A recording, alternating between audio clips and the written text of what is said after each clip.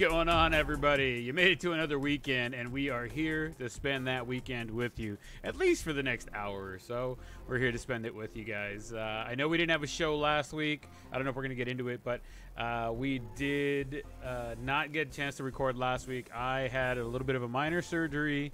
And uh, I was not feeling up for it, and uh, I decided to get some rest. But we're back here this weekend. Uh, don't forget, guys, to join as always, uh, follow us on social media on Twitter at the blown underscore save and on Instagram at the blown save. Don't forget, you can also still reach out to us at the blown save podcast at gmail.com or head on over to the blown, play, blown save podcast.com and find out all about us. If this is your first time listening to us, head on over there. You get some information on me and my co host, Mr. RT Casas.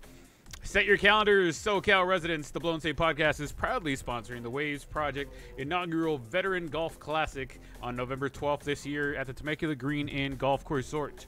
Um, lots of fun to be had. There will be a putting green contest, breakfast buffet, lunch, and, and lots of prizes with some awesome swag bags for players and raffle prizes that you can win while you're there. Uh, if you are interested in joining the event as a player or just wanting to come by and support, please head on over to wavesgolf.com for further information. But before I go any further, let me bring in the one, the only Mr. RT Casas. What's up, compadre? Not much. Just over here enjoying the weekend, ready to talk a little sports. Ah, I feel like when we don't get to talk sports on Fridays, it it feels un, like unfulfilled to me. Like we didn't we didn't do our Friday like we were supposed to. Right, right, right. Um, yeah, especially since we missed last Friday too, because someone was. I know. I was hurt. just talking about it um, off camera. I was saying how I uh, I had a minor surgery, and uh, I wasn't up for uh, literally. I wasn't up uh, for uh, recording another a show last week. So we decided uh, with with guidance from you as well, decided to not record the show. So we're here today, though. We got some stuff to cover, and we'll be good. All right, all right, let's do this. All right, let's fucking rock and roll, baby. Uh, let's see where we're going to start off today. Golf. Yeah, I know we don't normally talk a lot about golf, but we're going to talk about golf right now. Uh, former NBA star. Yes, I know it's golf, guys. Just trust me. Former NBA star J.R. Smith petitions to play golf after enrolling at North Carolina A&T. He was drafted straight out of high school, so in his eyes, he never had a chance to compete in college. He is officially enrolled at North Carolina A&T as a liberal studies major, and his clock, quote unquote, to compete as a collegiate athlete has not yet started because he went out went to the NBA right out of high school. Athletes in most cases get five years to compete, four years of eligibility per NCAA rules. An individual shall not be eligible for intercollegiate athletics, uh, athletics in a sport if the individual ever competed in a professional team in that sport. That being said, there is no law to ban a former pro athlete from competing in a completely different sport. Um, multiple collegiate athletes have played professional sports before returning to school to compete in Division One athletics. Uh, do you think, like, what do you think about that, man? That's pretty interesting, isn't it? Yeah, that is really interesting. Uh, I didn't know he was drafted out of high school. I kind of feel like he went and did something first before straight out of high school. I don't think he ever played college. He didn't play basketball. college ball because I know in the article it reads that he was drafted out of college, out of high school. Hmm, I'd have to check that one. I mm-hmm. that doesn't sound right, but um, yeah, man, um, that's interesting. I, I would be very interesting, uh, interested to see um, like how that plays out, you know, and why not? If that dude technically didn't, he's not breaking any rules.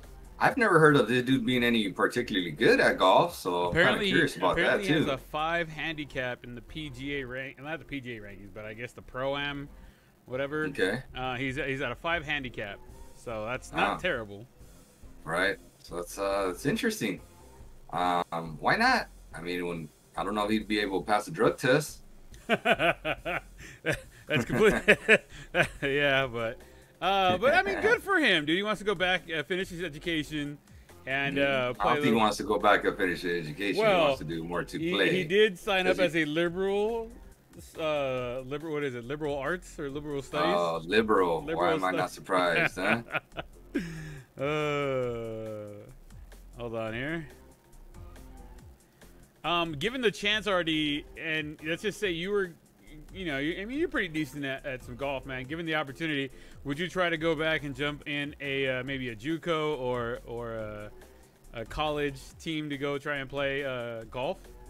Sure, why not? I mean, if it's possible, that'd be cool. I think it'd be cool. Um, and if you're that good, you know, now you're gonna get smacked around, clowned on by some of these college athletes, you know. Yeah. Is uh, yeah, but I don't know how strong the golf game is at the college level. You know, if you're really that good, you're already in the pros. You know what I'm saying? This is true. This is true. But a lot of a lot of collegiate athletes, especially like in golf, that can't turn pro, right? Because if they were that good, they'd be pro. But they, they can't turn pro. They're pretty good, but they're not that Yeah, they good. are. So, Right. uh, Yeah, I mean, not you get all these dudes that are they're like you know what are they called? Uh, pro pros the the uh, golf pro? No, um, club pro? Is it the called club, club pro. pro? Yeah, yeah, club pro. Right? Yeah. Yeah, where they're the pro at that particular club or whatever, Yeah. you know.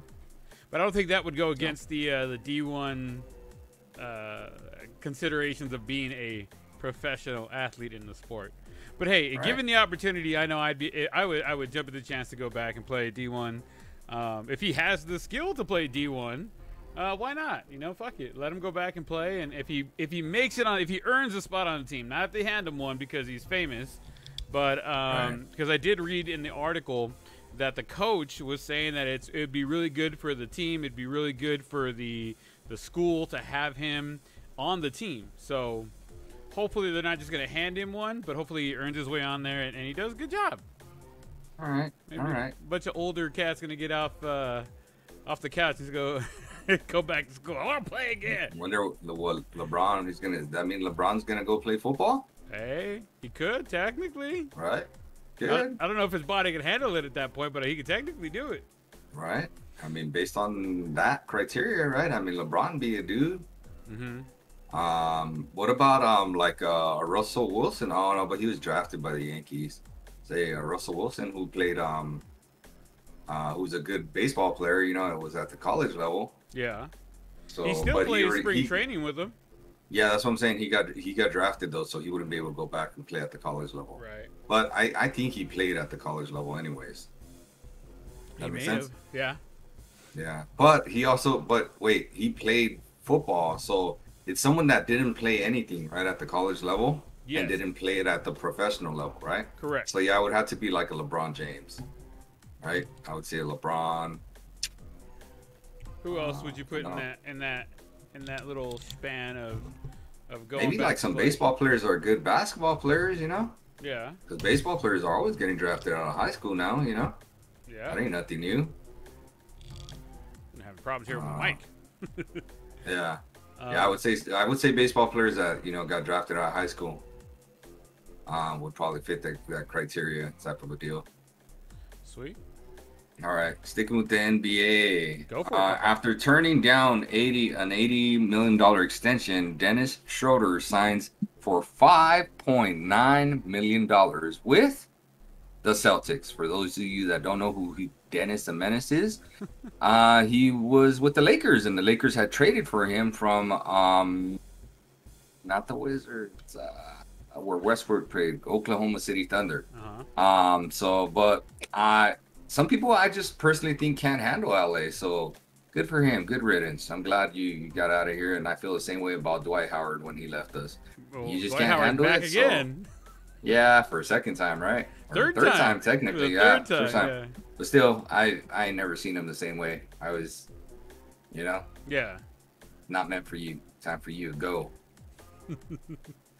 Absolutely. What else we got going on in uh, the world Uh, of basketball? Uh, mad props to the the basketball teams, uh, both the men and and uh, women's uh, Olympic sports teams. I guess uh, the Dream, the formerly known as the Dream Team. Yeah. Uh, they both won the gold. Men's basketball got off to a really bad start, dude. I mean, like horrible start, and everybody was like, "Oh, they need to get rid of this. Uh, they can't." They can't just come from playing, you know, um, their sport straight into this without like gelling together or anything like that. And dude, and yeah, they were losing to teams, you know, countries we barely even heard of and stuff like that. and uh, man, they made it all the way to the title game against France, and you know, uh, Kevin Durant was a beast, dude, beast, and uh, sealed the victory for for Team USA, I which heard was he, pretty I nice. heard he came out and said like he felt like he had been passed the torch and he dropped it, um, allowing the the U.S. men's basketball team to start off that bad, and he felt it was his responsibility to make sure that they brought home the gold. Yep. And what was cool, I believe he's the only um, player to ever average 20 points in uh in um like an Olympic round of competition. Really, Yeah, I believe so. Uh, in terms of for the USA, right for the. USA, because you know they usually spread the love, but I believe he's the only one to ever average 20 points. But the girls, dude, they're on a whole another level. They're like, you know, they talk about dream team. That's like a dream dynasty, bro. They they just kill everybody. They- I I don't know when was the last time they didn't win gold. What I thought was pretty cool was um, I don't remember her name. The the coach is it Sheryl Swoopes? I forgot. I'm trying to. I, I just don't remember who it is. Uh, but she's became the first um former player and, and now turned coach to win the gold medal for as a female. I did So I thought know that was pretty cool. That is pretty Yeah. damn awesome. Their head coach. So I forgot her name right now. I'm drawing a blank. Okay. Um, but she's out of Philly, which is pretty cool. Yeah, man. So that's what's what with that. What on? about? I wanted to talk about this a little bit. I'm just trying. I just put a whole bunch of little things for us to just kind of talk talk on and touch real quick. Right, right, right. Um, but here's another one. So last time me and you hung out together, we're watching the USA versus Mexico in the title game of the. You're probably better at that. But me, what was the title Uh, Copa game? de of? Oro. Copa de Oro, right? Yeah, the Gold Cup. And you were sick, and you were telling the wife the stat, right? And I, I forgot the stat, but basically USA had only won one other time, right? When they matched up like that. Right. What was the stat? Do you remember? It um, of all the times Mexico and the U.S. had met in the Gold Cup final, and they've met there a bunch of times. I don't remember the number anymore, but of the Mm. times that they have met, the uh, the American team has only won one other time um, in the history of the of the Concacaf Gold Cup. They only won one other time, other than this last time that they won. So here's my thing. I always think this is an interesting topic when it comes uh, who to root for, right? Right. Because I always get a lot of people get an uproar, and I just don't get it, dude. I just don't get it. Right. So But hold on, bef- before we go there, for those of you guys listening, so both Artie and I of, are of Mexican descent. So we were both born in this country, right? You were born here, Right. Okay, so we Yeah. were both born in the country. We're both, uh, was it second or third generation or further, um, being born here, and I'm and first. Are you first? Oh, my bad. my bad. well, I guess my mom's side I'm first. On my dad's side I'm like 97th, whatever. oh damn, But uh, well, my dad, we That's- always we always joke. a lot now. My uh, my dad, kidding. my dad's side of the family, we've been in uh, every war since the Alamo. So Oh damn. yeah, no, seriously, we've been in That's like almost almost every fucking war. That's why I was, you know, Okay. military. But anyways, going on a tangent there. Um, but yeah, no, no. So we're both of Mexican descent. So we all, me and him, both always get kind of uh, back and forth between who to root for. Go ahead, Artie. I wanted you to finish the. Yeah. So my thing is, everybody, if you're Mexican American, you automatically. I don't understand why everybody feels like you have to root for Mexico. I don't understand. I'm of Mexican descent, but I didn't grow up in Mexico. Right. So like, I have a hard time rooting for Mexico when the U.S. is playing them. That makes sense. That doesn't mean I don't want Mexico to do well or anything like that. Yeah. I'm just cheering for the U.S. Anytime that the U.S. and Mexico are playing each other, Yeah. like if you're making me pick somebody, I'm picking the U.S. Right? Yeah. Um, but again, like it's not like I'm totally against Mexico because anytime Mexico is playing anybody other than the US, I'm clearly cheering for them. And I don't understand why people make it such a big deal where, oh, you're not really Mexican if you're not cheering for Mexico when they play the US. It's like, why? What what what dictates that? Like what I don't understand. Explain that to me. I'm- I, I don't know. I'm with you there. I've been I've been cut in the middle before. I used to go watch the uh, Mexico games next door with the neighbors, and I Mhm. mean to be cheering, cheering for Mexico, of course, right? That's part of our heritage and whatnot. But anytime they play the U.S., you know, it's like, come on, man. I, I was born here. I fought for this country. My dad fought for this country. My Okay. grandpa, my aunt, my uncle, my cousins, we all fought for this country. Like, I'm gonna hold up the the Star Spangled Banner um, every down every time, right? You know, I mean, I I, would wish they would both be able to win, right? But if one's in and the other one's not, I'm rooting for that team. Obviously, like you said, if, if Mexico's in but they're not playing the U.S., let's just say they're playing Paraguay or some shit, um, then I'm rooting for Mexico to win because obviously I want you know La Raza to fucking win. But if they're playing the U.S., like, hey man, I was born here, I fought for this country, like I'm rooting for the states every time. Right, right, right. So, yeah, I'm with you, dude. We, I we just do don't. get tons of flack for that. I just don't get it, man. I don't get it. Unless you're born in Mexico, Uh-huh. like even that. But again, I don't understand. I don't get it why you have to. Like it's such a big deal or such a bad thing. It makes no sense to me. Like none. I haven't heard a good explanation from anybody. Like other than gibberish that they talk that they think is a good explanation. Well, I've never heard a good one of the things? What's one of the gibberish things that maybe off the top of your head that you remember? You're not really Mexican unless you're cheering for Mexico. Well, I'm American. If somebody asks me what nationality I am, Right. well, I'm American. They're like, no, no, Yeah, no. What do you I'm mean? I mean, what do you? Where are you from? I'm from Right. fucking L.A. Shit, dude. What do you and, want to tell and I tell, and like one thing I spit back at people is like, okay, um, do you know the words to the national anthem for Mexico? Okay, Uh-huh. and they'll probably say no. It's like, do you know the words for the national anthem for the most part to the U.S. And they're like, yeah. So okay, well you're not really Mexican then, yeah, right? Yeah, it's true. Because I mean, you know one but not the other. Don't get me wrong, you could hum it probably, but you don't really know the words. You know what I'm saying? Yeah. Does that make sense? And I was like, why? So so that that in theory should make you not Mexican, right? This is true. Right? Because it's a national words. anthem. Hey, truer words have not been spoken. I, I've heard. So I, I kind of saved that bullet for the last one. You know? Like, well, yeah, well, yeah. Tell Oh, me more. oh, Tell me more. Tell Keep me going, more. keep going, keep going. Bam! yeah. Here's the Yeah. here's the Keep, keep digging that grave. Keep digging that grave. Go for it. Go for it. I'll tell you when to stop. I'll tell you when to start. You uh, know? I'm with you there, though, dude. That's that's So- that's good. That's good. I need to get off. I need to get that off my chest. No, no worries, no worries. I'll, I'll let you stay on the soapbox for a little longer. Yeah, need to, and I just love like setting people up for that. I'm like, Oh, oh, yeah. I'm sure we're Oh, gonna yeah? get some Oh, flack yeah? for this. Oh yeah. All right. Okay. and I'm sure, and that's fine. And I get it. But again, if I was born in Mexico, I get it, right? Like, okay, I get why you're on me. Yeah. But I wasn't. Okay, I wasn't. I wasn't. And you cheering for Mexico does not make you more Mexican than me.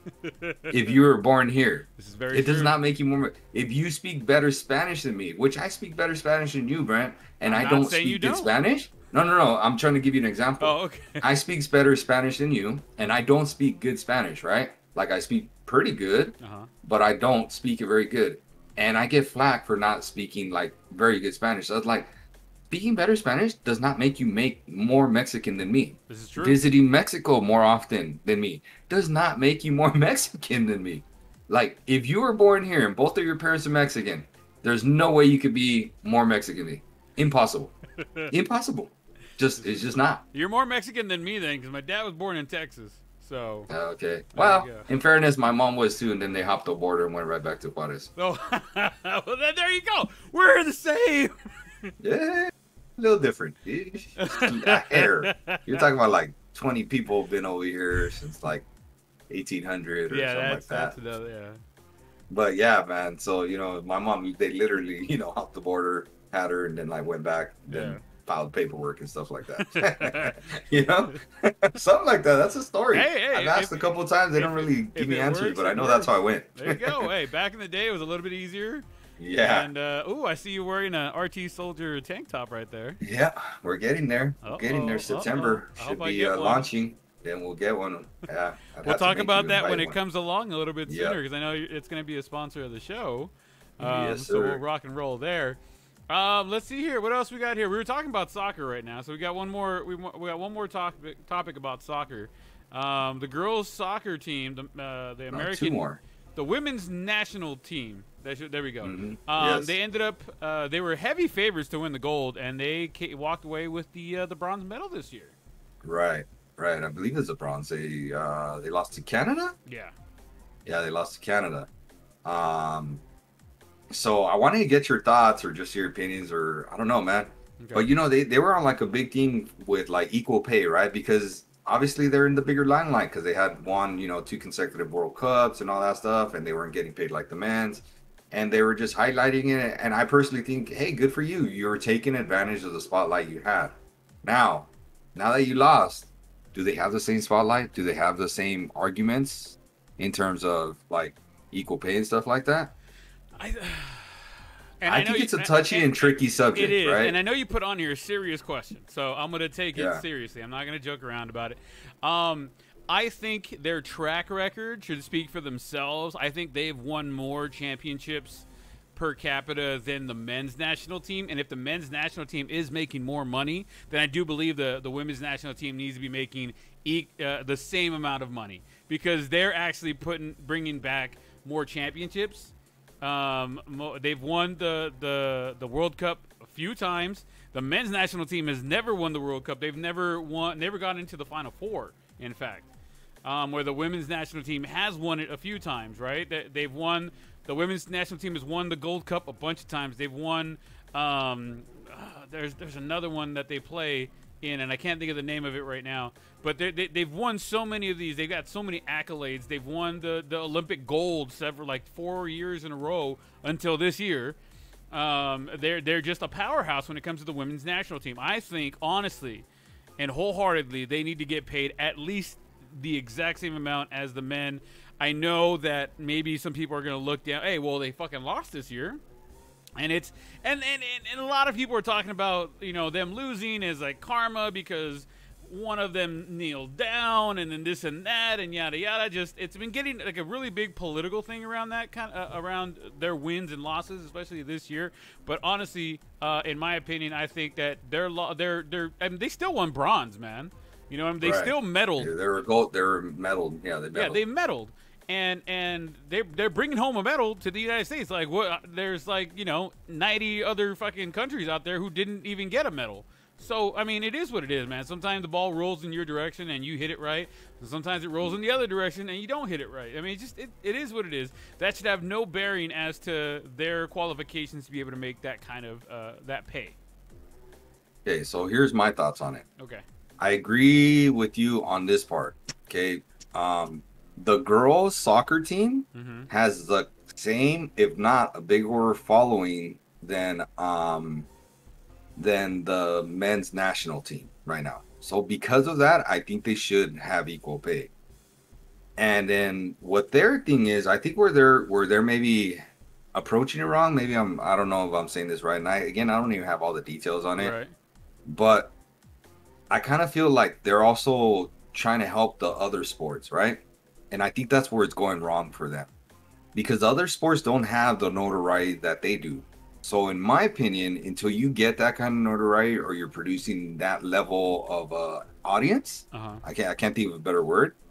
Then why would someone want to pay you that? You know, that's how leagues fold because you want to get more than what's actually happening. So let's say, and I'm just throwing it out there, right? And I don't know all the numbers, I don't know all the details. But let's say the WNBA versus the NBA. I mean, you can't pay WNBA players because like WNBA players are trying to get people in the stands. NBA play NBA has people in the stands. Does that make Yeah. sense? No, I'm with you. like there. something small like that. So you can't really compare them. So in terms of like trying to get that same salary, Yeah. but because of that, I think the same thing. U.S. Uh, women's soccer does get the people in the stands, so of course I think they should be getting paid. So if you're producing, you should get paid for it. Does Yeah. that make sense? Oh, I, I I'm- I agree with you there. I My know. opinion. No, no, I'm, I'm with you there. I uh, uh, I remember I was in in uh, Vancouver a few years ago, and I had the opportunity to go watch the men's U.S. soccer team or the women's U.S. soccer team, and I went and watched. I picked to go see the women's national team play instead of the men's national team, just because you're right. The women's team is when it comes to soccer now or football. Um, they have a lot more notoriety than the men's team does, or or their female counterparts in other sports. I don't think that, that in the other sports um, they have as much notoriety or as much pull as you're trying to say um, to get people in the stands, to get people to watch. I mean, honestly, I could I couldn't tell you the last time I watched a WNBA game, but I could tell you the last time I watched the the women's national team. I pretty much Right. watch them almost all the time. You know what I mean? Yeah. Um, Yeah, I'm with you. I, I probably know ten of the girls that are, or the ladies, I should say, that are in the women's national team. I couldn't give you ten. where'd you meet them? I- How'd you know them? I mean, I know their names. know Let me- that. let me rephrase. Oh, I know okay. their names, right? Oh, oh, I you- see. I couldn't give you ten of the of the anybody in the uh, in the WNBA. Oh, I could. You know, I, I honestly I Yeah. can't. No, nobody that's Diana. Taurasi, she's from Chino, homie. Bro, okay. Well, once again, I, me, not you, me, me, me, right? Really So I think I think the uh, the you're you're right. The notoriety to be able to pull. I think the women's national team should be getting that. I mean, everybody should get equal pay, right? But as in sports, you get paid for what you do, right? Or sometimes you get paid for what you did and what they're hoping you're going to do. Um, you're just going to need to have that that following behind you to pull more money in. So it's it's it's kind of a touch. It, it really is a touchy subject when it comes Oh, yeah. to who gets paid more and this and that yada yada. Why do they get paid more than they? But if we're just talking um, the uh, the the women's national team, then I think they have plenty of notoriety. I think they have plenty of pull. They have plenty of star power to be able to get paid, if not equal to the men, maybe a little bit more because they have more accolades than the men's national team. Right. I agree.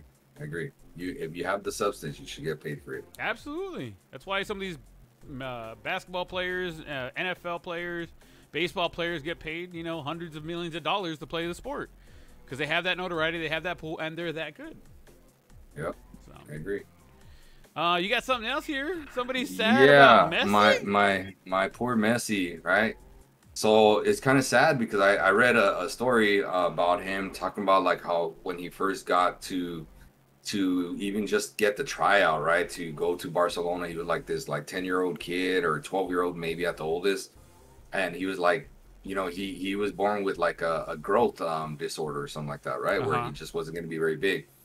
So then the coach that was there to kind of like scout him, or the main thing, they he was already on the pitch with uh, Barcelona, and he was playing against older kids, right, like 16 year olds or whatever, Yeah. and he was just carving them up. But the coach came in like through the wrong gate or something like that, and so he actually saw he he saw he saw Messi playing from afar from like early on like and he was like damn who's that little kid? And he, by the time he got all the way around where he was at like he already had his mind made up like i want that dude. I want this dude in the club. I want him in the in the program.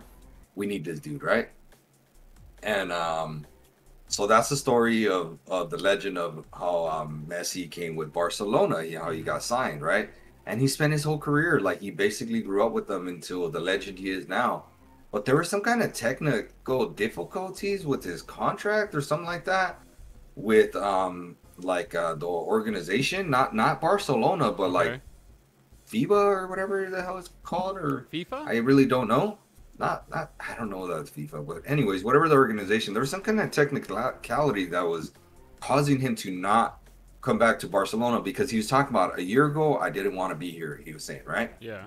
he's uh and then we figured everything out and we worked things out and i want to be here. And now i just couldn't be here because of a technicality is what he said right? And he was crying dude like during his exit interview with barcelona and he was like i grew up here. This is my life. This is my home. This is my family right? Like everything is is me here right? So then he left and he signed with uh with paris for on a two or three year deal i forgot what it was Mhm. but I mean, insane, insane numbers. He's like making forty something mil a year, or something like that.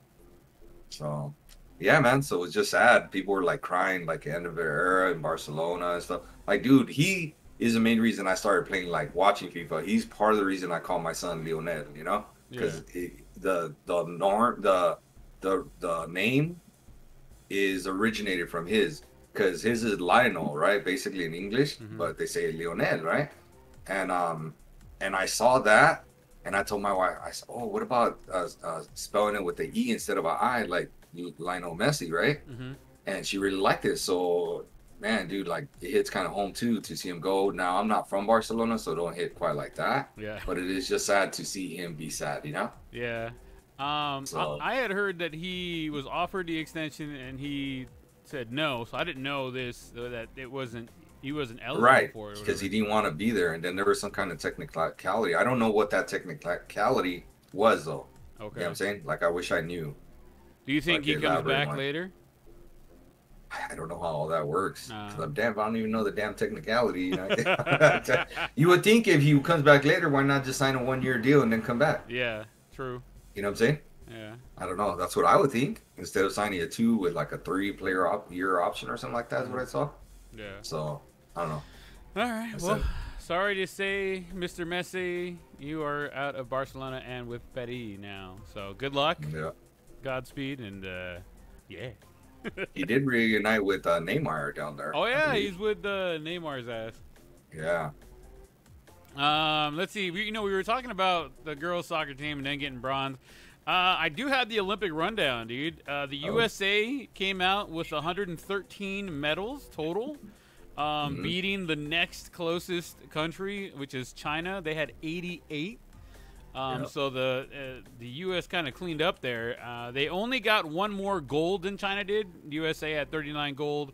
China had 38, and then next was Japan with 27, Great Britain 22, and the Russian Olympic Committee with 20.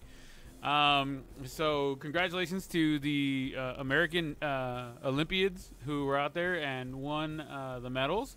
Congratulations! We brought home 39 gold, like I said, 41 silver, and 33 bronze, totaling 113. So, thank you guys for representing the, the U.S. of A. in the right way and and uh, getting things done. So, thank you. Yep. Um, speaking of which, what do 60% of the American gold medals from Tokyo have in common, Artie? Uh, swimming. No. 113 of those medals uh, that the Americans are bringing home. The American women won 66 of them, totaling 58.4% of the total medals. Um, Of the 39 gold medals, the women were responsible for 23 of them. Given the women their second highest total in American Olympic history, previously of 59% now, um, 58.4 is their second highest. So um, the women are leading the way when it comes to the Olympic sports right now, man. Like they are the one, they're the reasons why we're bringing home so many uh, medals, especially the gold ones. Not surprised. Not surprised, Not sir. surprised. Um, Olympic. Did you did you hear about this? The Olympic French marathon runner uh, finished 17th after wiping opponent's water uh, to the ground. For those of you guys out there, um, and realistically us, I think, who have never run a marathon, right? at least I don't think you've run a marathon. Have you, Artie? Uh, no, I drove a marathon once. Uh, I did a marathon movie watch. I, I did that before. uh, throughout the course, they set up tables for runners to, to be able to snag cups or bottles of water to hydrate uh, as they go um, when they're running. Uh, the incident happened on the second half of the 26 mile race when the temperatures were climbing north of 84 degrees and the humidity was just killing it, right? Uh, Morhad Amdouni, a 33 year old, uh, was seen in a cluster of runners approaching a water station. As he reached out for a bottle, while uh, uh, a bottle of water, he knocked down a whole row of freaking bottles of water before grabbing the very last one, leaving nothing for the guys that were in his pack right behind him.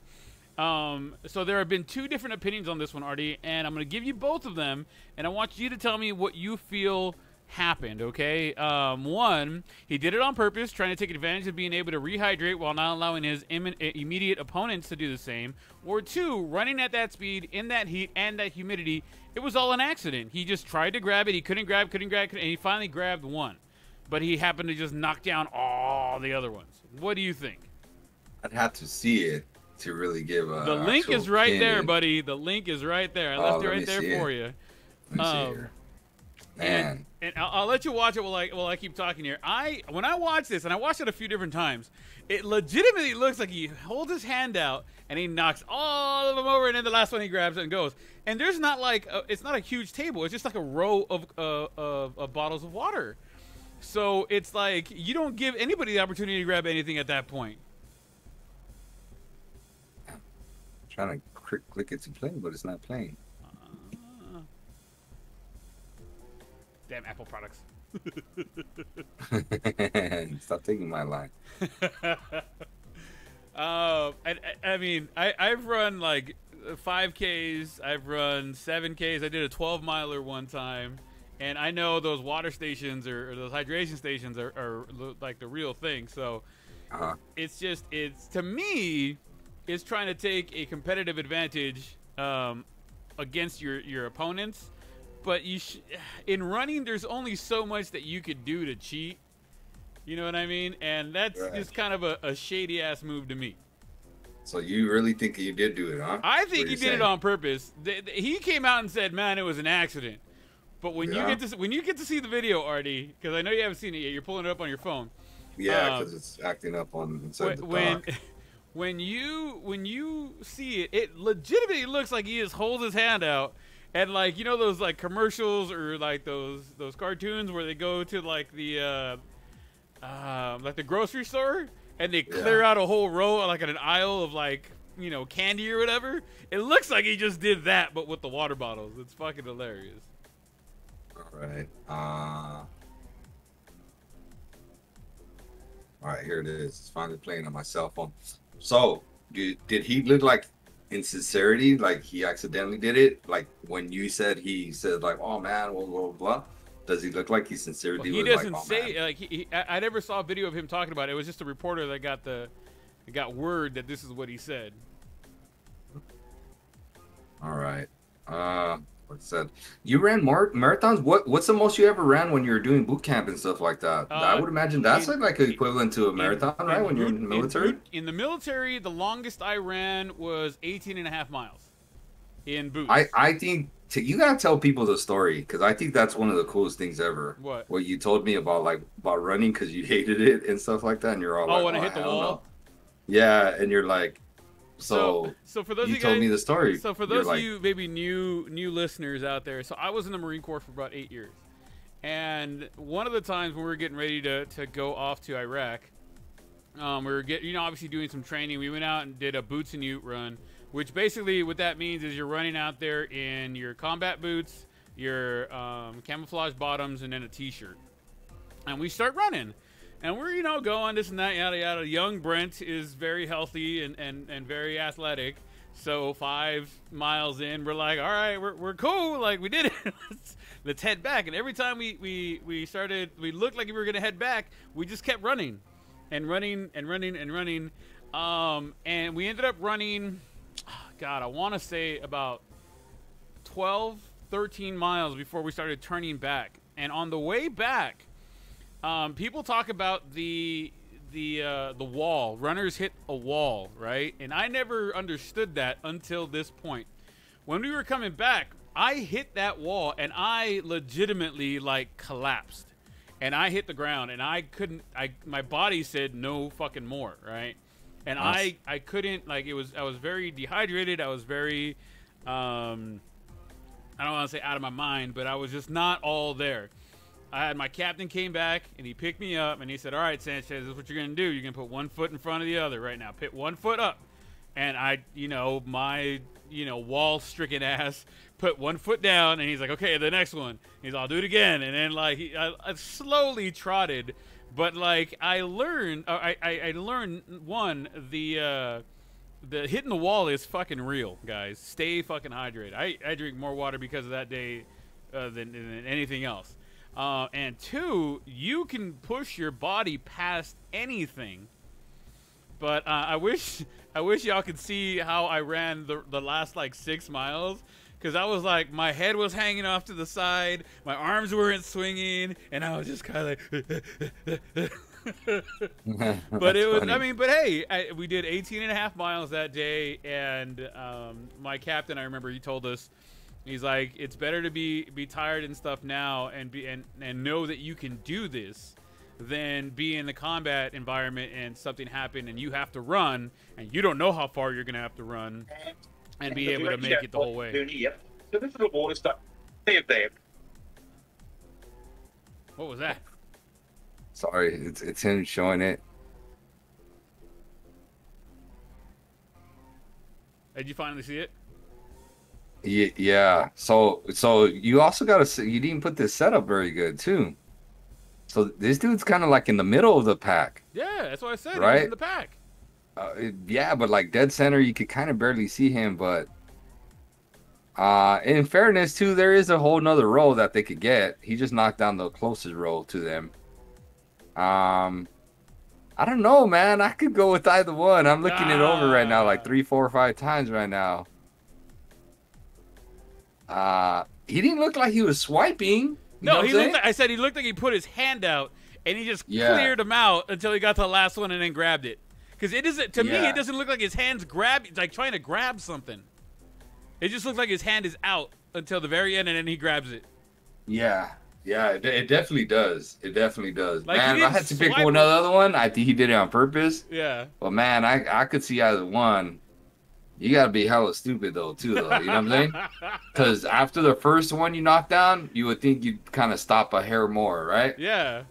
Or Not like, wait till the last one. out and how is it you out- get the very last one? Really, Yeah, like you Is clear that whole mar- row and you only got bro? the Is last this one. his first mar- marathon ever It is running? It is not. It is not. You know, He knows what I he's mean, doing. there's, yeah, you know, I, yeah, I'll say bullshit on that one. you heard it here first, guys. If you're calling bullshit Yeah. on it, yeah, I don't.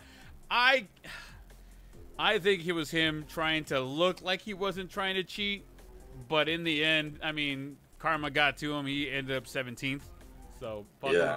whatever. yeah. Don't be that guy, guys. Nobody likes that guy. Don't be that guy. Nope. For sure. All right. So I, I really wanted to get your opinion on that one. That one's actually pretty cool.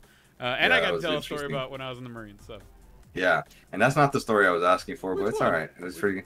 I just thought it was cool how you you told me one time. I asked you like, dude, running, you had ran them more before, or blah blah blah. And you said, look, you're like, you know what got me through it?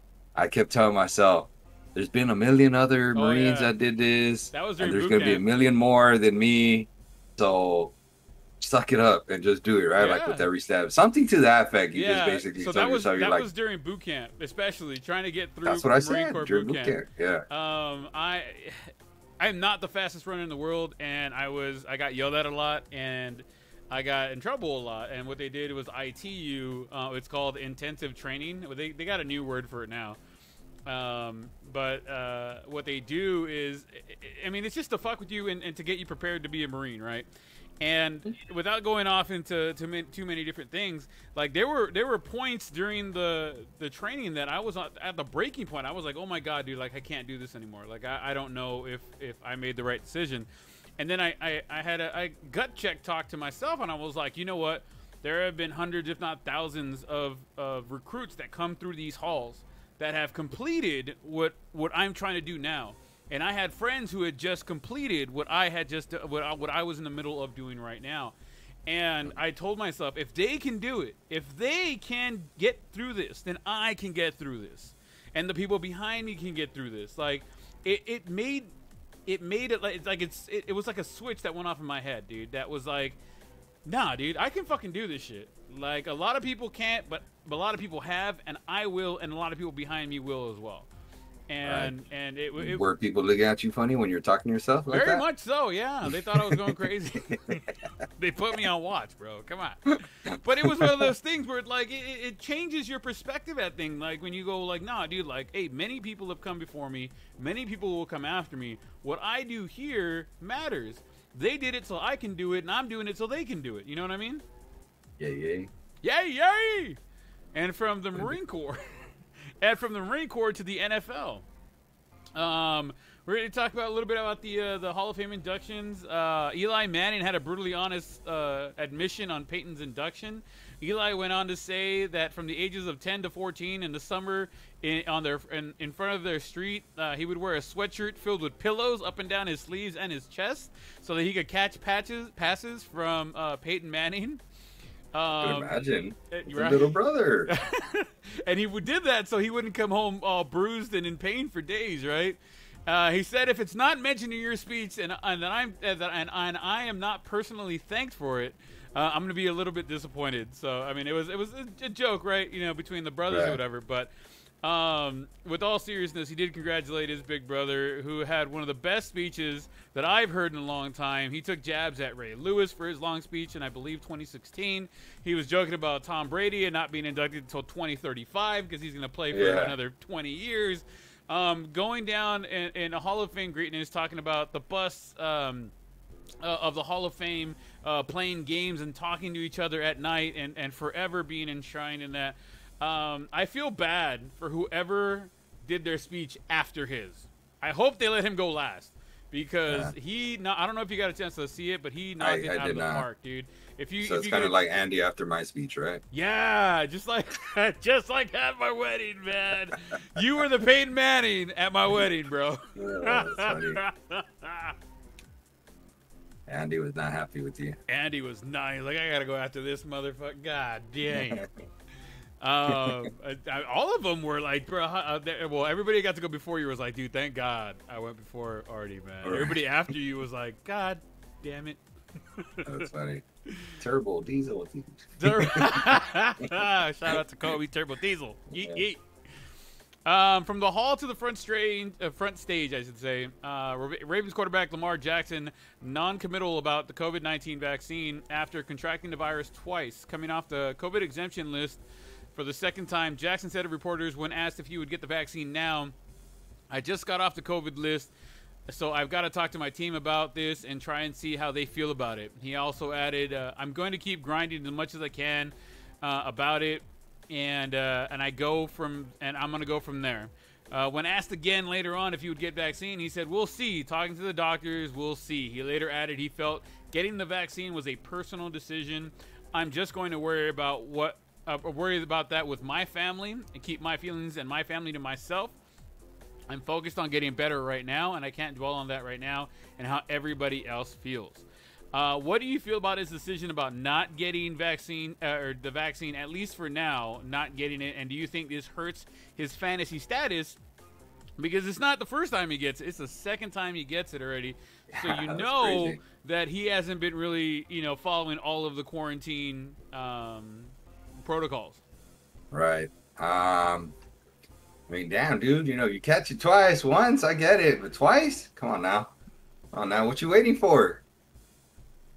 Do you think it hurts his his uh, his um, his? I'll tell you what. I'm not reaching for him. if you get him in the tenth round, buddy, you gonna go get him?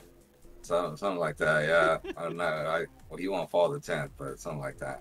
Yeah. Do you do you think he do you think he is gonna fall a little lower than he would normally? He would. I think. Nor. I think he's like a maybe a.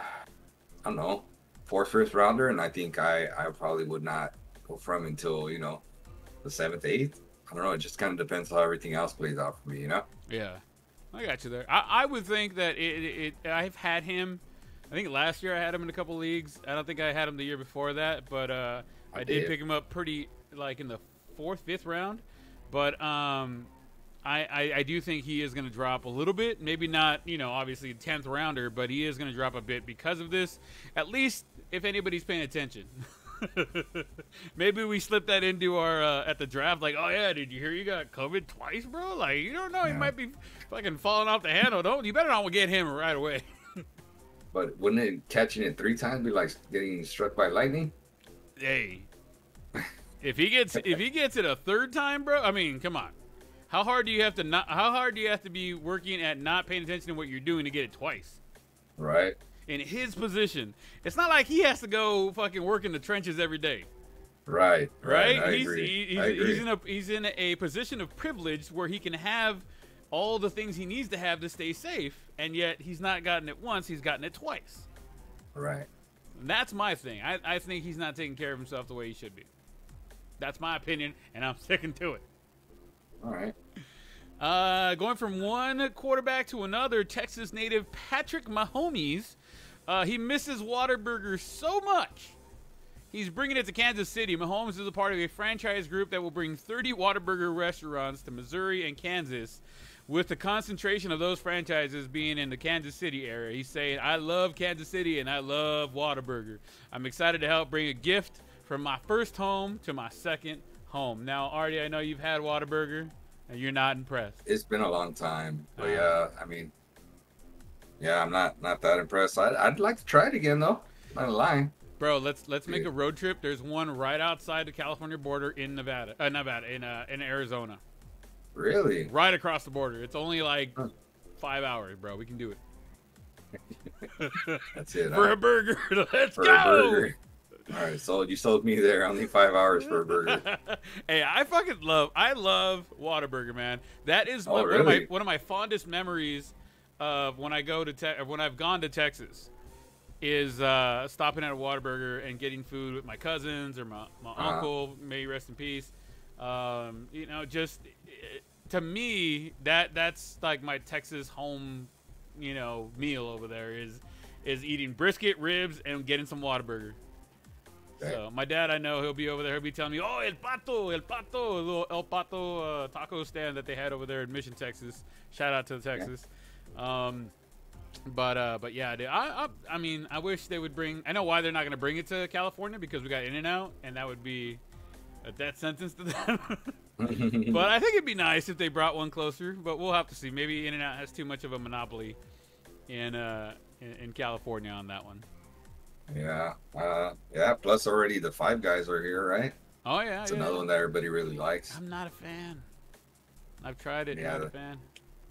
Same way I feel about Whataburger. Hush. Nah, well, not a, not not a fan. It's been such a long time. I can't remember it. To be honest. I gotcha. Um, what else we got going on here, dude? Starting next week, we'll be diving into. Oh, yeah, I was gonna talk about that. Starting next week, we're gonna dive more into the power rankings, taking a little bit more of an in-depth look at the upcoming football season. Football season is back, everybody. Um, are you ready for it? Are you ready for some football? Not Um, yet. I'm not ready to be honest. You're not still doing No. baseball season. All right. Yeah. Uh, we I'm got a couple. I because I still don't have like I'm not hardcore about like one specific team. You know. Yeah. Um, what what else we got going on right now? The New Orleans is that the Saints or just New Orleans in general? Yeah, the Saints read the whole damn thing. Will will require vaccination or a negative test to attend Saints games. Um, eh, I think. I mean, you have to protect yourself. I mean, a lot of a lot of places are doing it. I mean, this is just a really big situation where they're doing it. I know that I'm supposed to go to a uh, beer festival in LA in, uh, next month sometime. Um, and they're requiring you to have your vaccine card to prove that you've been vaccinated and or have a um, a negative test within three days of the event.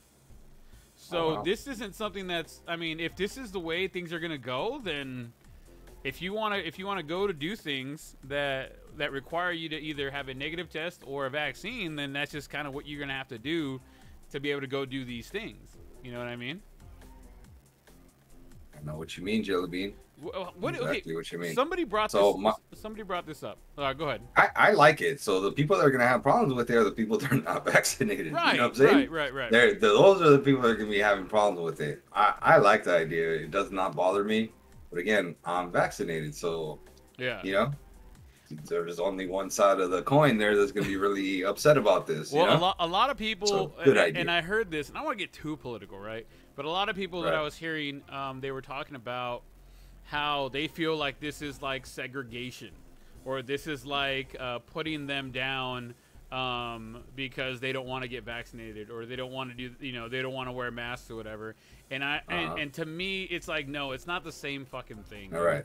Like segregation is completely different. Like you're choosing to not get vaccinated. You're choosing not to wear a mask. You're choosing not to go get a test if you want to go do this thing. Like that's your Mhm. choice. You have a choice in this matter. Segregation and all that other stuff, you know, people of color had no uh, no choice in being, you know, brown or black or whatever. You know what I mean? Do we had no Right. opportunity to change what we want, what they wanted. I was like, we, but what Michael Jackson. want. Jackson. Exact- Except, Right. uh, well, or uh, Sammy Sosa. He's now pink. Sammy, or Sammy, you're right. Sam- Sammy went from brown to pink. Um, but it's just one of those things where guys, look, we don't tell you to get a vaccine or not get a vaccine. What we tell you is to be safe. And if the places that you want to go are telling you you need one of two things, you need a vaccine or you need a negative test, then either go get a vaccine or get your negative test so you can go do these things. If you don't want to do those two things, then don't go to this event. Go somewhere else and watch it from home. Stay at home and watch it. You know what I mean? Uh, that that that's my opinion, Artie. What do you think? Yep. You you don't gotta go. You got choices. You got choices. You might not like them, but you got choices. you know what I'm saying? Yeah, we live in a country where you get choices. Just choices, choices. that you don't like doesn't matter. You still got choices. um, Yeah. Carson Wentz, he's looking pretty good, huh? He said he might be ready Uh, for opening day. Well, you know he got hurt, right? Yeah, he, we talked about this two weeks ago. He uh, Uh. fucked up his foot. He had uh, surgery on it.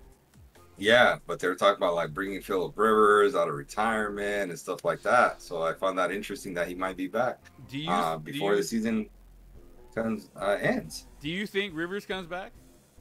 Uh, man, I kind of get the feeling that he is going to come back somewhere. Some I know? personally would love to have Philip Rivers backing up Dak Prescott. If Prescott gets hurt, we got Philip Rivers right there. right. Yep. If Cowboy- what do you mean if? Jerry If- Jones, Jerry Jones, you hear me right now? Go sign Yeah. Philip Rivers as a backup. He'd be cool. Mhm. So speaking of if, Yeah. get to the next one. Uh, There's no Dak ifs. Prescott is in danger, having another MRI on his shoulder, getting a baseball specialist to look at the rotator cuff. Already said uh, has on here a lot of bad signs. So until I hear this dude's fucked up, this is all precautionary. This is all precautionary. My ass. Did you did you watch the the episode of uh, the Hard Knocks? No. Okay, they talk about they, they talk about when he got hurt, and Jerry Jones was talking to the doctor, and he's like, "So what's up?" And obviously they're gonna spin it for you know TV and stuff like that. But Right. basically, the doctor said, like, "Look, man, he's just a little sore. Um, he hasn't been throwing the way he's been throwing. He probably threw more than he should have. He's still got to get warmed up. He's still got to get in that football condition." But they're talking. They talked to the uh, the Yankees um, pitching coaches and staff, and the uh, the Rangers pitching coaches and staff to kind of get their opinion on the, the the rotator cuff and the shoulder and stuff like that for the throwing motion. And so they're going over things. But th- according to what coaches said and what um, Jerry Jones has said and what Prescott has said, this is all precautionary. They just want to make sure they don't rush him back too fast because they need him for the season. So until it's serious, it ain't serious. Glad you're drinking the Kool Aid. I will drink it all day and twice on Sunday, sir. Your team, not mine. Ah, yeah, yeah, yeah. uh, Didn't they? Didn't they lose? Didn't they lose like a defensive end or something like that? Something uh, defensive line? lineman yesterday is out for Yeah. four to six weeks with a dislocated elbow. Oh, Uh, caused I, by his own teammate, right? I do believe he was in the second group, so our first string guys are still good. But he Alright, is one of those guys okay. that goes in and, and, and takes some snaps in too. So hopefully he gets Mhm. back sooner and later. Hopefully it's four weeks and not six. Yeah. Yeah. Let's see. Hopefully Dak plays. Uh, hopefully, hopefully, I'm hoping. uh, let's see. The sports book is coming to the NFL Cardinal Stadium. Can you a little elaborate on that? You're the one to put that one down. That's all I know. That's all I know. That's- What are your thoughts on in in house act the actual game, like being able to bet, dude? Uh, to me, that's kind of crazy, no? It is pretty wild to think that I can go to a game and make bets at the same time. I don't think it's a good thing because I mean you're gonna be drinking. It's it's it's a football game, bro. Yeah, like you're gonna be pre-gaming hard before you go in there. Yeah. You're gonna what the rules are gonna be. yeah. th- There's got to be certain things that they have to stipulate. You can't be fucked up. You can't do this. You can't do. You know, there's got to be certain certain uh, stipulations, like you said, uh, to be able to do that. But I think I mean you're just taking two things that kind of go together and, and do it at the same time. Uh, it's just gonna have to be very careful to make sure that like the players aren't putting bets in and the coaching staffs aren't playing bets in stuff like that. So it'll just be uh, it, it's to not have another Pete Rose situation. You know what I mean? Yeah. So I think you're you're gonna allow you're gonna allow for it to happen and Uh huh. You're giving the gi- giving it the opportunity to happen i should say um, and and you're gonna i mean if it works out it works out if it doesn't then we're gonna have uh, another pete rose scandal i think Yep. Yeah, man. Uh, it's it's gonna be interesting. I want to see the stipulations. There's always guidelines. There's always guidelines, and that's Yeah. really what I want to see how that works out. I don't think any of that player stuff's gonna be involved with their with that because let me tell you, players are already bet on games, bro. They just have their cousins or brothers or something like that. Let me just tell cousins you, uncles twice it, it is. They have to, like, they have to, right? yeah They have to. Like, there's just no way. You can't tell me every single athlete, every single professional athlete in the world does not gamble, like on sports. Is that what you're telling me? no i couldn't tell you that sir that's not me don't put words just- in my I mouth I don't.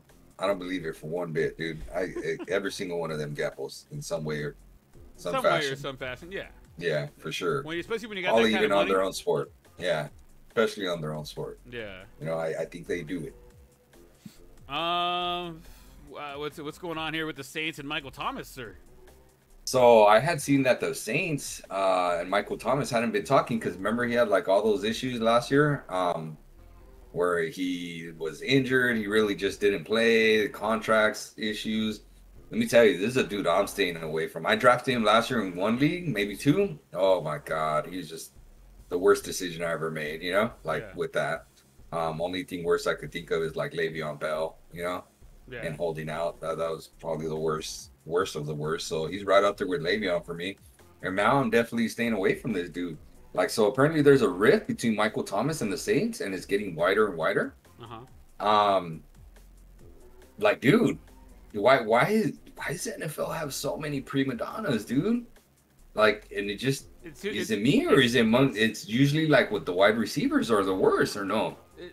I think because they have a lot of yes people around them, Uh huh. that like, bro, you're like the best fucking wide receiver in the league, bro. How are they not doing this, this, and this for you? Mm, Hey, okay. bro, like Right. why? You know, if when you surround yourself with that type of uh, uh, uh, individuals, like you're gonna get that mentality yourself. Like, hey, I'm the fucking best fucking thing. And if you think about it, other than running backs and quarterbacks, who are the biggest like. Like the, the the big spotlight guys is the fucking re- uh, receivers who are catching those big you know highlight fucking passes.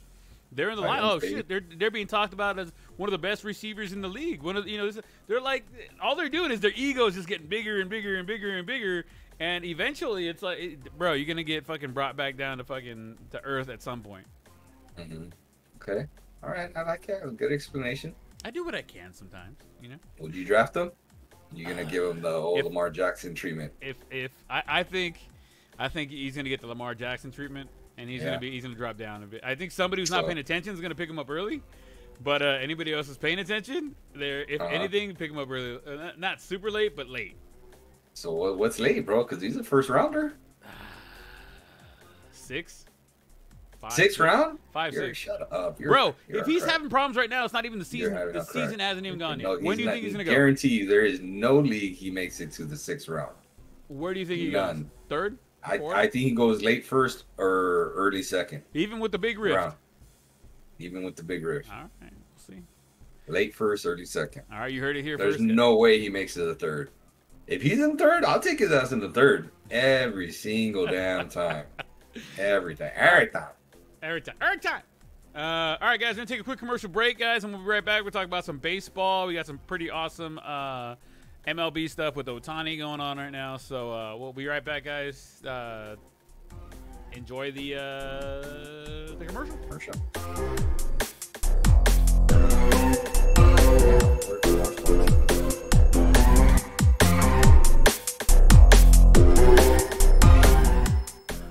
right, guys, welcome back. Uh, hopefully, you guys enjoyed whatever commercial you guys got, and uh, we're back talking some baseball.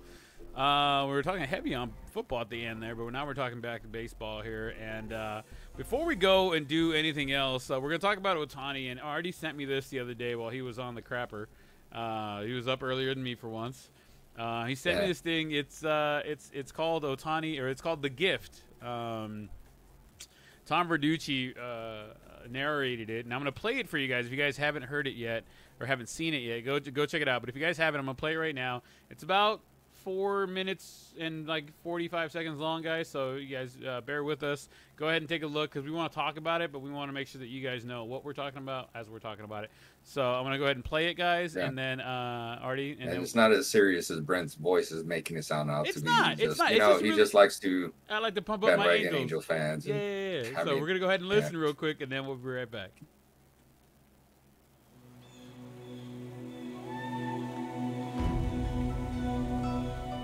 On the hills of Kamagaya, 20 miles from Tokyo, Nashi pears have grown for more than 500 years. So revered are Nashi pears that they are given as gifts. In this same community in 2012, another gift took root.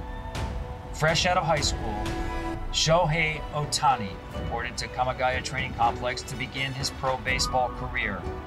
His manager, Hideki Kuriyama, gave him a challenge be both a hitter and a pitcher.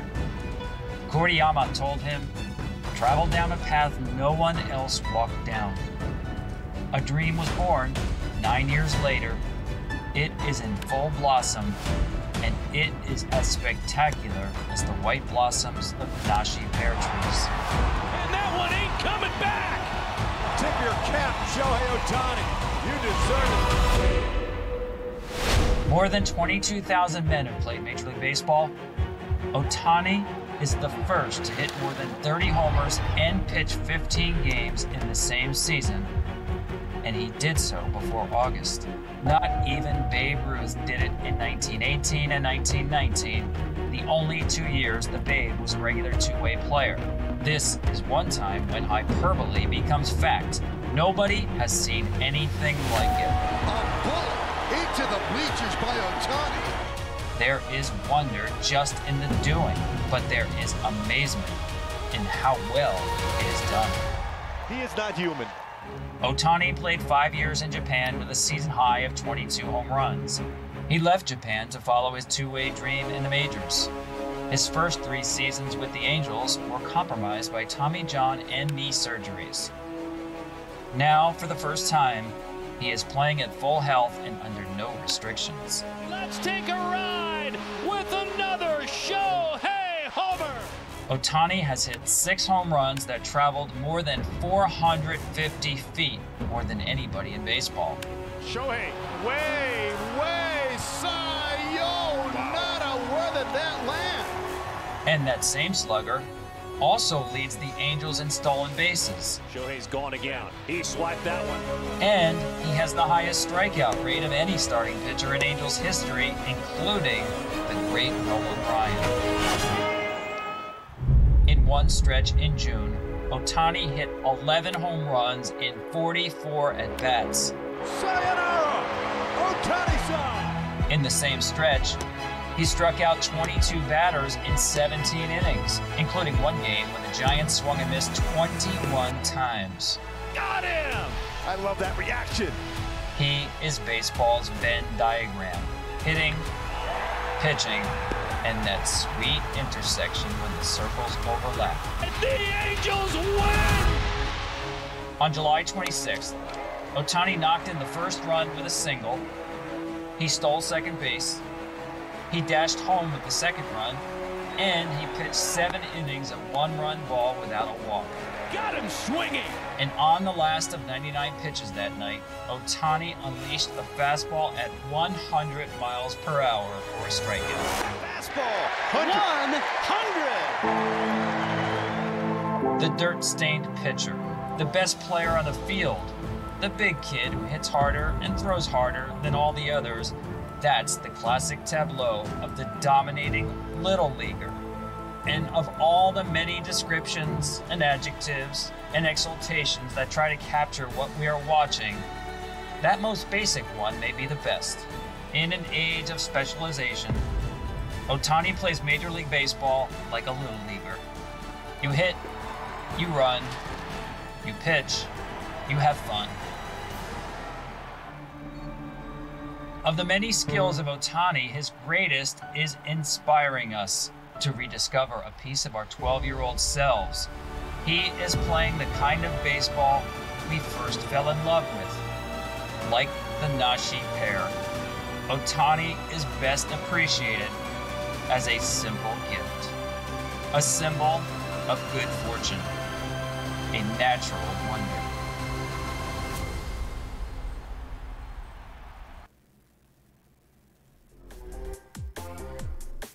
All right, we're back.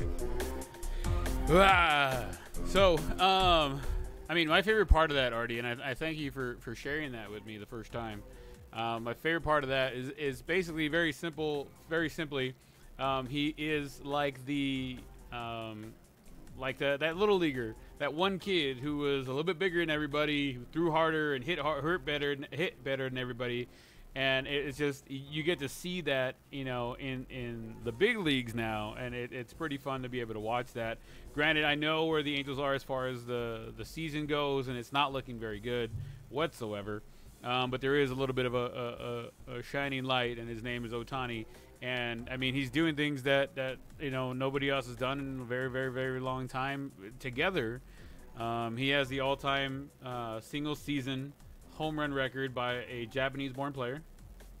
He has 16 stolen bases now, 38 home runs.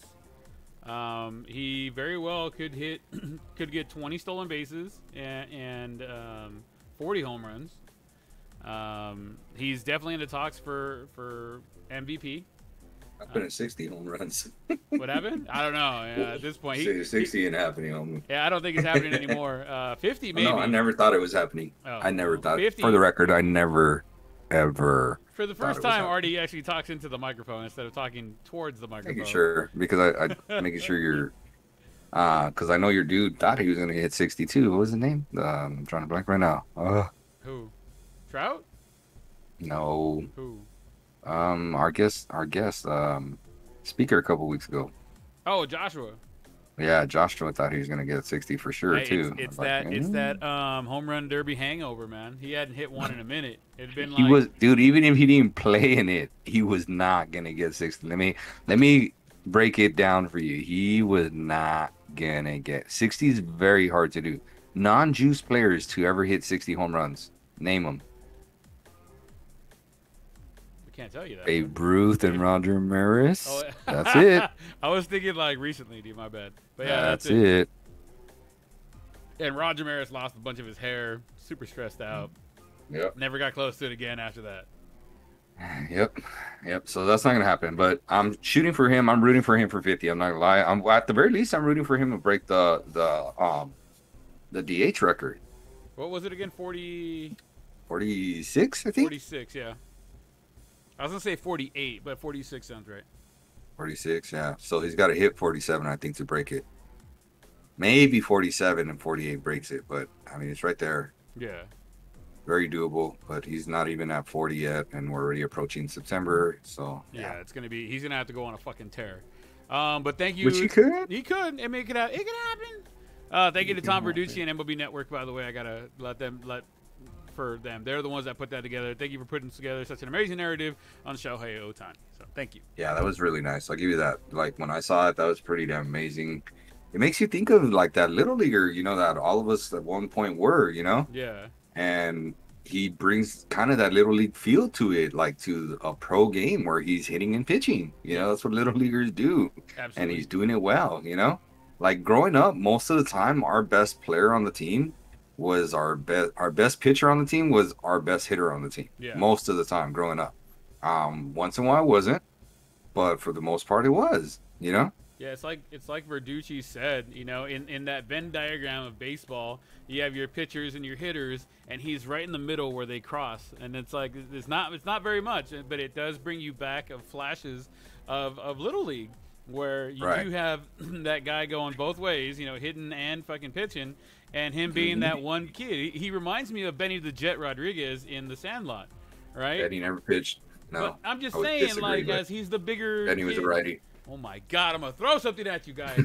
I swear to God. But he reminds me of like he's the one little leaguer, like he was the best little leaguer on, on that team. Like you know what I mean? He's the guy, the bigger, faster, stronger guy. You know what I mean? It's just, Mm. it's one of those things.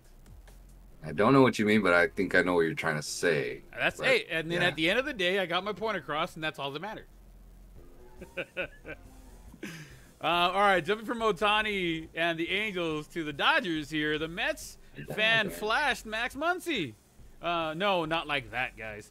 Uh, a Mets fan flashed Muncy in the top of the ninth inning with a runner on second and two outs and two strikes. It was uh, deuces wild there, as uh, as Vin would say. Uh, with the game tied, uh, with a green laser pointer, uh, Muncy took it upon himself to stop the game and tell the umps what was going on. Uh, there's one thing to heckle or taunt players of the opposing team, right? But uh, I think there's no room for this kind of of thing in the game. Um, there are some lasers that could actually do some serious and permanent damage if shine in your eyes, man. What do you What do you think as a Dodger fan? Uh, what do you think about that kind of trash move by the Mets fans? Yeah, I think it sucks. John Boy did a really good job of breaking that all down. Mm-hmm. Um, I found it to be really interesting. And then I saw a photo somewhere else that they actually had flashed the picture too. Really? But maybe maybe it was a doctored photo, but that the picture the, that was pitching at the time was Edwin Diaz. Mhm. Um, so Muncy first had it flashed on him on like his body one time, and then Yeah. afterwards they kind of flashed it on him again, but this time in his face. That makes sense. Yeah. So yeah, man. But I think it's like it's stupid, dude. It's people that want attention and stuff like that, you know. I was For reading, whatever yeah, reason. I was reading the comments on, on that, right? And I saw a bunch of people were like, "Well, have you been to Dodger Stadium? Have you seen how those fans get?" Yeah, but you know what, man? They never, Bro, they stop, never stop, interfere. stop. That this is uh this was in Met Stadium. I know. I did, that's what I'm saying. Oh, in the co- in the Uh, comment section of mhm. this of the story, Trying to flip it. yeah, no, they, they were trying to like, oh, well, you should see how the, the Dodger fans are, and it's not. But yeah, but the Dodger fans don't, all don't they don't ever interfere with the ball players like that. Yeah, They we made- just mess they- up the opposing the, um, the fans. fans The fans get yeah, the into it with other fans. That's completely different from messing with somebody Yes. who's playing a game on the field, especially in such a, a, a pivotal point in the game. Two outs, two uh, one on second with two strikes, and Muncy Yeah. batting of all people, right. right? And then he struck out like the next pitch too. Yeah, I know it was. Which kind of throws you off though, you know, because it, you, uh, it, you're in your rhythm, and and it's just it ain't good. It ain't kosher. Don't do that, guys. I hope that guy, Yeah. whoever it was, got kicked out and, and he got banned for at least a while, or if, if not permanently. So I heard he did it though, so I don't know. I don't think they found who it was. Yeah. it was because he did a really good job of hiding it. They they, Right. they they showed like a little thing where like oh it's over here somewhere where you can kind of see the the green flash or whatever. Uh, Um, but they're like you can't really tell who it was. You'd have to like get like six people there and be like okay, which one of you motherfuckers did it? But anyways, right. Um, from one Yeah. New York team to the other, uh, Anthony Mhm. Rizzo, the latest New York Yankees player to test positive for COVID 19. At least 85% of the New York players are vaccinated, um, resulting in the loosening of their restrictions, right? But the Yankees still have been hit hard. Gary Sanchez, Gerrit Cole, and Jordan Montgomery, um, along with Anthony Rizzo, um, also tested positive. Coach Boone uh, said he thought it came out of Florida since the Yankees had just finished playing six games against the Rays and the Marlins, and we know how bad COVID right now is hitting Florida. Um, since they are loosening the restrictions, do you think they're going to tighten those things back up again? Uh, I would imagine so because we're they're playing with fans, right? They're trying not to take that away. Yeah. I mean, think about it. We were just a year away, bro, removed from like them playing in empty stadiums. You know, a lot of people forget that. That was a year ago, dude. Yeah. You know what I'm saying? And I just feel like, yeah, man. Like, yeah, there's something. I don't know. I feel like it's a volcano waiting to erupt a little bit again. No, don't you kind of get that feeling I with feel with like this, it's- it's- especially with the variant? You know, the Delta variant. Yeah. You know? I feel like I there's going to be get a, that a- a big, a big explosion again. It's Yeah. It's just a ticking time bomb. I don't know whatever else analogy you want to put on it, but that's what it kind of feels like for me. You know, yeah. like for me. No, I'm with Could you. be I'm wrong. with you, man. It, it, it, it's on the we're on the brink of another shutdown, I think, and and I hope it doesn't happen, but we're leaning in that direction, unfortunately. Yep. And now they're forcing everything like upon people. Like, you know, okay, if you're a state of official, like me and the on the comadre, you know, like you either have to have your vaccine or you have to have a weekly test showing that you're negative. Yeah, And I, I was telling my students, my opinion, I think it's going to get to the point where they're going to put the vaccine as one of the things you have to have in order to start school again, yeah, you know? Um, and it's going to be a trickle down effect from the high school level until it gets cleared all the way down to the elementary level. Right. And I think people that don't have it are going to be restricted to online learning only. I, I think people forget why we have vaccines and why you know all this happens. I mean, we, we had this one pandemic one time. we- It's called polio, and then we got the polio vaccine, and then we don't got polio no more. It's only that people stopped taking the polio vaccine that polio started coming back. There's a Mhm. there is a, uh, a causation and correlation between the two. It's the same thing with with the COVID, man. Like if you're not vaccinated, I mean, uh, they say like 98% of the people who are dying and sick right now are the people who are non-vaccinated. And I, I don't know how many stories I've read where uh, the the person's dying and they're like, "Give me the vaccine, give me the vaccine." And they're like, well, "It's fucking too late now." I mean, I'm, right. I'm obviously paraphrasing there, right? But but at that point, it's too fucking late, man. Um, Right. If you're not going to do it for yourself, do it for people around you. Um, just take care of yourself. If you don't want to do it, that's fine. It's your prerogative. You live in, in the in the free states of the United States. Do what you want to do, but at the same time, don't be upset when the things that you want to do are requiring certain things to be done before you can go and do those things, like have a vaccine or do weekly tests or whatever it might be. You can't get mad because people are trying to stay safe.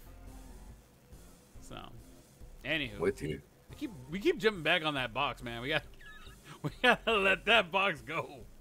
Uh, let's see what else we got going on here. Oh, at the Dodger game, we were talking about the Dodgers, right? The Dodger game the other day. Um, a fan ran out in the field and eluded several security officers as he ran towards the stand trying to get away. He was met by the shoulder of a Mhm. Dodgers ball girl and then proceeded Yeah. to and forgive me, forgive the phrase, guys, but it's the only way I know how to say it. But he got midget flipped um, over the railing and um, over that guardrail or whatever, and then he was promptly Mhm. arrested and taken away. The ball girl rose shortly after the hit, dusted herself off, and was ready to play the next play, or was ready for the next go. play. Uh, don't mess with the Dodgers uh, ball girls, guys. They make their own gloves and they can lay you out. So claps to her Yeah, for fucking right. knocking this fool out. Angels ball girl would never. They, they're guys, but whatever. Oh, okay. So you don't even, you can't even. You're sexist. I, I'm not sexist. I'm just saying the Angels have ball guys, your team ball boys, Sexist. whatever. Um, yesterday we had the Field of Dreams game between the Yankees and the Red Sox in the cornfield in Iowa. The game was the most watched game in MLB this year for and ever for a non-playoff game. It was not without its magic.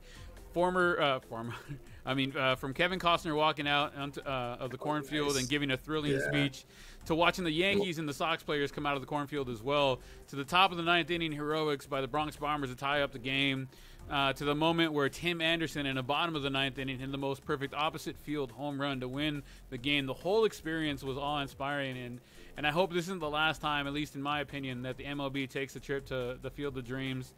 Um, Artie, where where do you see MLB playing again next? Do you think they go back to the Field of Dreams and do this again, um, or where in the thematic uh, world would you like to see the, uh, the the them play another game? I mean, it'd be nice. I mean, I think it'd be it'd be out of the question though. But uh, for them to see to see them play in the Sandlot, I would like to see like the Dodgers and the and the Giants go. So like a big, a nice big rivalry would be able to go play out there. Uh, where would you like them to like them to go play um, next, or where would you dream like oh, it'd be awesome if they played here? Uh, where did the the rookie, or his little field in Texas? oh, it was yeah. Uh, it was um, wasn't it with the Twins? Oh no, that was the other movie. No, Tampa Bay, but he was in Tex. Oh. He's from Texas. His high school. Oh yeah, and then he got hit by he got picked up by Tampa Bay. Yeah, he got to Tampa Bay. Um, the Sandlot, you know, they'd have to obviously put some kind of factors in it because it can't be look as crappy as yeah. that. But the rest of it, they could kind of basically recreate. I really like the whole setup, like the whole setup of the Field of Dreams thing was like so cool, you know, with the exception of Kevin Costner taken half an hour to walk over to the stadium. Like, while it was cool to see him walk in, I didn't need to see him run in. Well, this bro, and he and Kevin Costner's my dude. Let me tell you, because he's a he's a Titan, right? He's a Yeah. Cal State Fullerton Titan. Um, but let me tell you, this dude was stopping like every five steps, and I'm like, hey, bro, we got a gameplay. You know, like let's get to it. You know? Yeah, I think Stop he was once or twice, for, but for, jeez uh, for the dramatic effect. Yeah. him walking to out. Annoy me. Um, so yeah, of course he was being told to do that, you know. Uh, Yeah. hey, slow down, slow down. He probably had an earpiece or something like, hey, hey, hey, we need this aerial shot here. Stay still. it was Um, fun. It was fun watching the guys run out of there and, and then go and shaking his hand. Uh, Gerrit Cole went over there, gave him a baseball. Yeah. awesome. But they did such an awesome job of promoting it. You know what I'm saying? That's really what the setup, all of this was. And then the gameplay itself was like pretty damn amazing, especially the finish that Oh, yeah. that it had. You know, like was like, wow, did that just happen? Is this is this you know is this heaven? No, it's Iowa, right? They kept playing uh, um, uh, fucking Darth Vader, um, James Earl Jones. Oh, Uh, okay. They play they kept playing him like you know uh, him talking about you know it's baseball, you know it's romantic, it's it, it it's the, the game or whatever, you know. And it is just Yeah. it was a great it was a great good job baseball, good job Major League Baseball. You you, you got one right. Yeah, I, I also thought there was there was a good interview with uh, um, uh, Bob Costas and Costner Mhm. himself. Um, and there's one thing uh, that I thought um, uh, Co- um, Kevin Costner said that was pretty cool. He's like, I remember playing when this game was called Hardball at the time. You know, like that. This feels like a game of hardball instead of a game of baseball. He's like, it's like really a throwback. You know Yeah. like he's uh and that's that's what i really feel this game is going to be you know what in some ways it did feel like it you know Yeah. like my opinion i i, I thought it was pretty It- cool it like i said had- I, I like yeah. the whole setup i like everything i like the whole setup obviously we had a dramatic finish to the game and it was pretty damn impressive you know Yeah, the game definitely. It was just great. It was, it was, it was a really great thing to watch. If you guys, for some reason, didn't get a chance to watch it or the highlights, go back, look it up. It's it's it's online. I think it's on YouTube. You can watch it, and uh, it, it was really good. It was really good, man. I, I'd like to see them go back and do it again. Um, I think it's just it was it was nice to see it. right yeah totally agree so what about you where would you like to see it played at Um, like I said, I, I mean, I'd love to see them go back and do that again. Uh, different teams, Mhm. obviously. Um, Yeah, or, different or- teams for yeah, sure. Or, or have like the White Sox since they won, they get to stay there and they got to play somebody else now, and then whoever Right. wins gets to hold on to it. Play them. Yeah. Maybe Um, make it like an inner squad type of thing too. Oh, they could do that. That'd be awesome. Like I, I mean, I'm sorry, uh, interleague Interleague, game, yeah, like yeah. interleague game.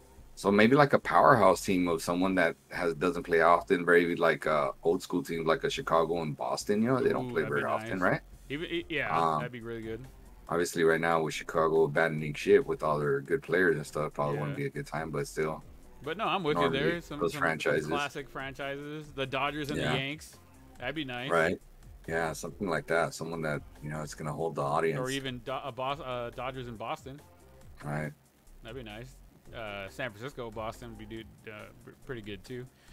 Yeah. But um, like Maybe I said, have maybe them have maybe they even have them use like their throwback uniforms, like if they goes like Giants and and Boston or something. awesome. The, you know, yeah. Um, but yeah, no, I'm, I'm with you. I, I think the uh, the Sandlot would be awesome. They'd have to obviously make some some changes. Obviously, they can't have bushes and shit in the outfield. right? uh, and it won't be all dirt. So, um, but it, it would be awesome to be able to recreate most of that and, and to be able to go play over there. So, I think I'm with you there, and, and that's that would be my choice to, to be able to see them do that, um, or maybe uh, put together, maybe bring back a, like an Ebbets Field.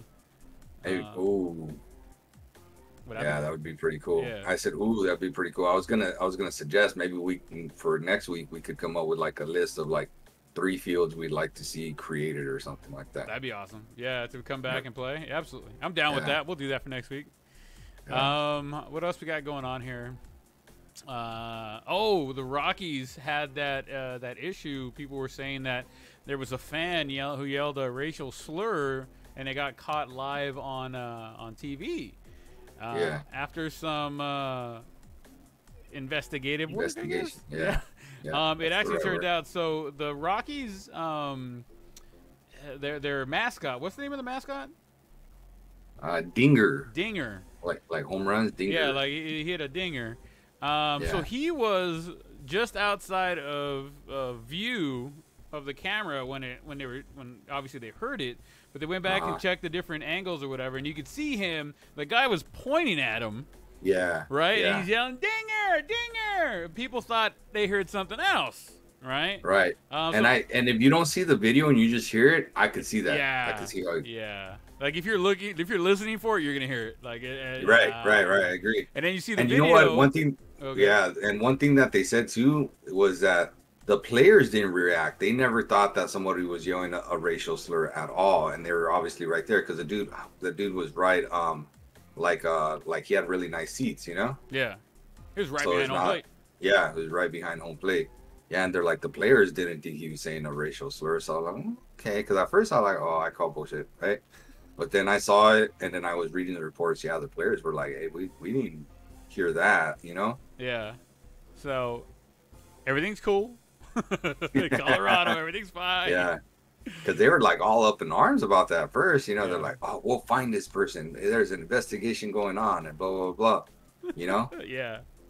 and it wasn't, didn't turn out to be that what it is. So I would imagine that like the Mets are the ones that should be like on something, you know? Yeah.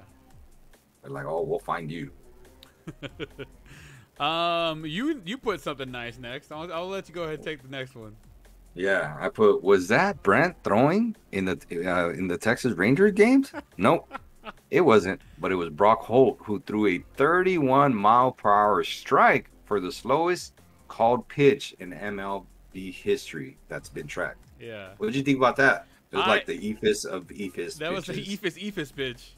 right? Um, I thought that was it was great to see him go out there and uh and and throw the ball. I know he threw a couple like 70 mile an hour fastballs, quote Uh, unquote. 80s, I think it Oh, was yeah? low 80s. Yeah, man. Um, so I mean, but it was it was it was a lot more fun to watch the ball players kind of like like did you just really like just lob that up, bud? Like seriously, you Right. threw like a slow pitch softball pit, uh, uh, uh, one of those rainbow pitches. It just never Even that, man. down. Jeez, that's jeez, that's. But you know what? The the announcers, I heard them like set that up. Dude, he was practicing that like in the bullpen Really? or in like warm ups. They were saying, yeah, like, hey, we saw him practicing that pitch. Because I mean, it takes some skill, believe it or not, to still throw that pitch. You know? strike, yeah. Yeah. So I was impressed, man. I was impressed, and I think I was more impressed when I saw that he came back with like 80, and I was like, "Oh damn, he didn't just go up there trying to lob stuff." Yeah. Well, right on, right on. So thank you for the dig. At the same time, it was a it was a good thing to watch, right?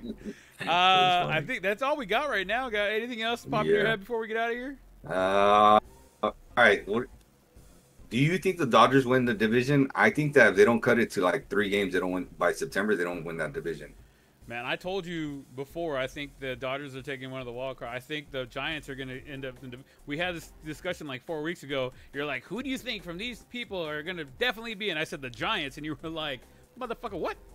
Um, I didn't say that. So see, here's where you're misconstructing. misconstructing. I know said- Win the division, not make the playoffs. right. Playoffs. You know, the, the Angels don't make. It's like I get it. Angels don't make playoffs often. It's hard to comprehend everything I else. do. Um, but, I the think I- division, I, don't care about making the playoffs. We're in the playoffs, homie. We're gonna be in the playoffs. Oh yeah. If if the if But they don't the if they don't cut it to three games by in, in the next two weeks, I don't think they win the But division, man. The, It, the, it feels Giants, like every damn time I see the Dodgers win, I check to see if the if the Giants won, and the Giants won. And every time we lose, the Giants either win or lose. And I'm like, damn it! But, Can't you know, like break. literally yesterday happened again. You know, the Dodgers won a thriller. Well, I was I was gonna check to see if they lost, but I was pretty sure they won, which they did. They won five four. Um, and now checking the standings, and they're five games back. You know, so I always think, you man, you gotta be within three. I mean, you could always go like, um, on a good run, right? Mhm. But man, dude, uh, so I mean, yeah, by all accounts, the Dodgers are doing great. Yeah, It's just that the Giants happen to be having one of those years. right. Uh, I, I'm with you there. I'm gonna go with you. If they don't cut it to three games by September, I don't think they, they take the division. There's always that possibility. You know what I mean? Something could happen. COVID could happen. Fucking somebody gets hurt, whatever, and and the, you know the Giants lose three, four, five games, and the Dodgers win. You know, three, four, and you know they take over. But it's gonna be close. It's gonna be very close. I can see it coming down to the wire. Uh, the Giants, you know, taking the division with one game, two games. Right. Yeah. Who do the Dodgers play at the end? Do they play the Giants at the end? Um. Usually, yeah, in September. Yeah. So So that, I mean, that's going to be the big series right there.